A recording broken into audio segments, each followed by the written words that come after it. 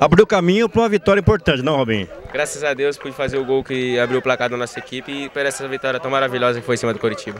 Já dá para pensar em título já ou não? Não, primeiro eu banho no chão, trabalhar e, consequentemente, a vitória vem. Um jogo lá, um jogo aqui agora com o Coritiba. Qual vai ser o mais difícil?